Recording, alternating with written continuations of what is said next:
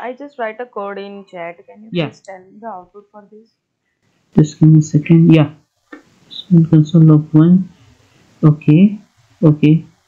Set timeout console log 2 1000 okay. And there is console log of 3 0 okay. Okay. So first it will be console log 1 it will execute then it will execute console log 4 Um, then it will execute the set uh, the third line set timeout function with 0 uh, milliseconds and then uh, 1000 higher order functions. higher order function is a function uh, which accepts the functions as an argument and returns a new function for example map reduce so these are the few examples And which type of web storage are there? so types of uh, web storage uh, it includes session storage and local storage Yeah. Can you explain it? Which kind of scenario we are using uh, local storage and session storage with example?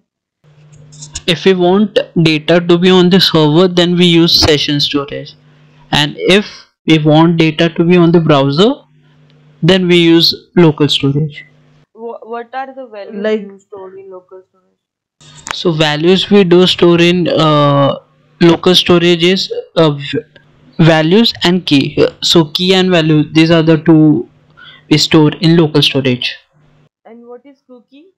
so cookie it is nothing but a piece of information or data that a server sends to the browser web browser What are callback functions? so callback function it is a function it is passed as an argument to any other function so a callback function it can run after another function has finished so that is the main purpose Okay. Have you ever used promises in your code? Okay. Can you explain exam with example? so promise is nothing but an object so what it represents is the failure or completion of the asynchronous operation. So there are three states which includes pending fulfilled and rejected. Rejected when the promise fails with an error. Fulfilled like uh, the it resolves successfully and returns a value. Whereas pending it is still in working progress. The promise. Have you ever used REST operator, REST parameter and spread operator in your yes. Can you explain with example? uh, okay so spread uh, spread operator what we can say so there are two arrays uh, a and b. Uh, there is in a array there is fruits bananas and in the second array there is uh, mangoes and oranges. And if we want in a single array c what we will do? C equals to uh, triple dot a comma triple dot b. So all the values will get uh, emerged in c whereas uh, the other uh, question you asked is? REST parameter. uh, yeah rest parameter. Suppose there are large number of parameters we want to pass. But uh, in short what we can do is like we will only uh, type first one with triple dot. So instead of writing all those things we will only write triple dot and the first parameter Have you ever used uh, set timeout, set interval? so set interval it will execute repeatedly after the interval of time whereas set timeout it will execute once after the interval of time is done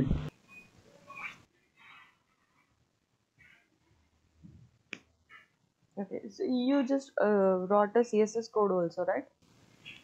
Yeah projects. yeah So, uh, what is the difference between uh, display none and visibility hidden? so both are used for hiding the element but display none it won't take any space in the layout whereas uh, in visibility hidden it will take space the element will be hidden but it will the element will take the space in the layout so that is the main difference Which version of React are you used?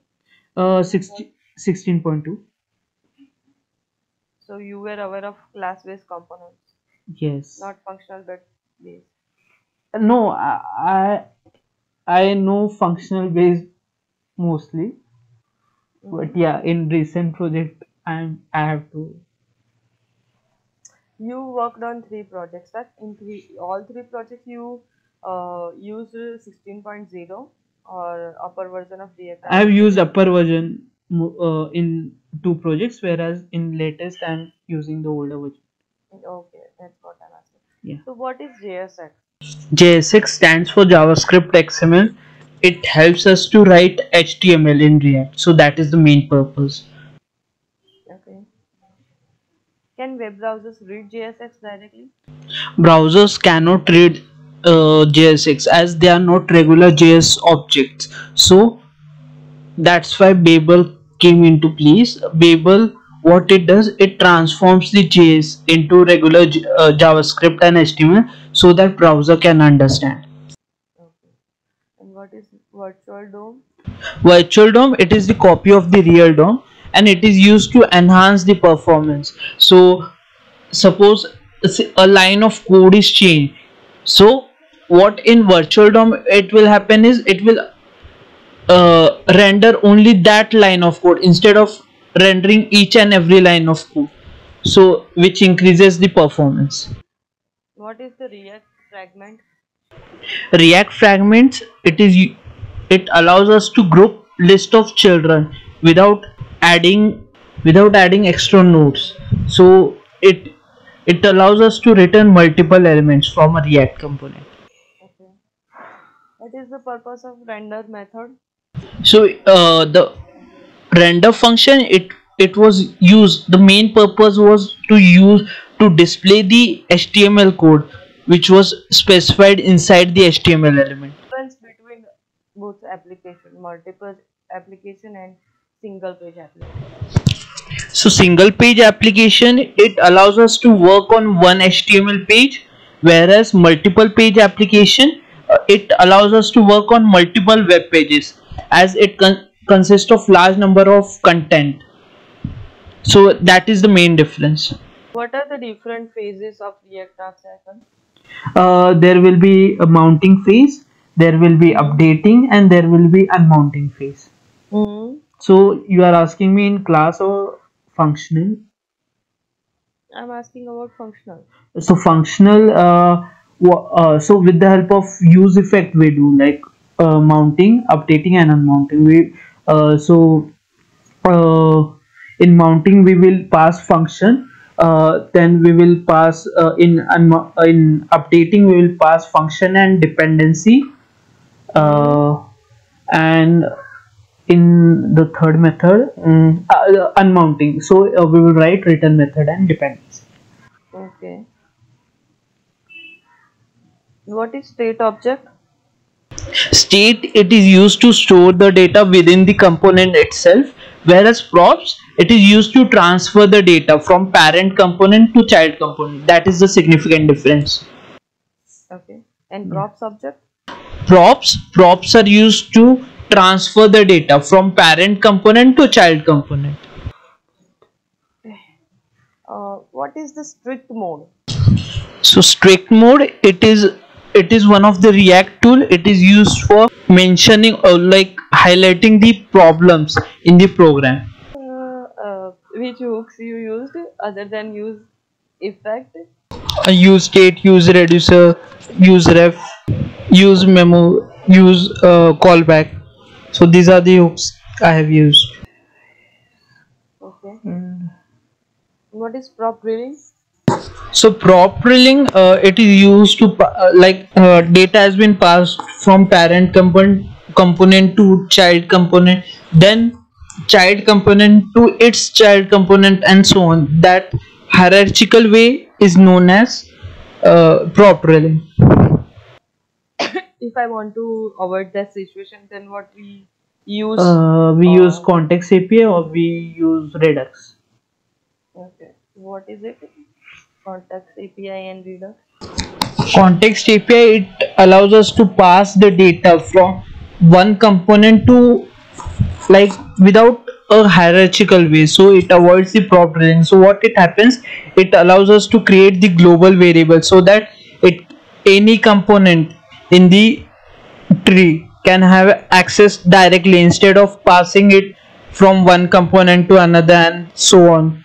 So directly it can be passed Okay. What are the components of React Redux? Uh, so there will be action store reducer this will be the three components And uh, how it works?